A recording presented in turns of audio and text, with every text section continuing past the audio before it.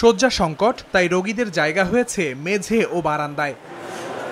প্রতিদিনই ধারণ ক্ষমতার বাইরে রোগী ভর্তি হচ্ছে যশোর জেনারেল হাসপাতালে। রোগীরা জানান সময়মতো পাওয়া যায় না চিকিৎসক ও নার্সদের। জনবল সংকটের কারণে হচ্ছে না রোগ নির্ণয়ের সব পরীক্ষা। এতে বেড়েছে ভোগান্তি। প্রেসক্রিপশন অনুপাতে যে সমস্ত লিখেছে তাই সেই অনুপাতে আমার আর কি চিকিৎসা দিচ্ছে একজন ইন্টারনেট ডাক্তারও আমার কাছে এসে জিজ্ঞেস করেন যে তোমার কি সমস্যা সবকটাই রান আছে মানে মেশিন ঠিক আছে কিন্তু এটার মেডিসিন নাই। মেডিসিনের অভাবে আপাতত বন্ধ রয়েছে। আরও চিকিৎসক নিয়োগের আশ্বাস হাসপাতাল তত্ত্বাবধায়কের।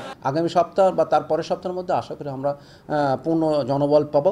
তখন প্রতিদিনের যে রিপোর্ট যেটা আমরা ওই দিনই দিতে পারব। আড়াইশো শয্যার যশোর জেনারেল হাসপাতালে প্রতিদিন গড়ে পাঁচ শতাধিক রোগী ভর্তি থেকে চিকিৎসা সেবা নেন। সময় সংবাদ যশোর।